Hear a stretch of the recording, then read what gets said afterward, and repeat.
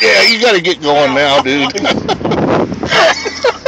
God damn.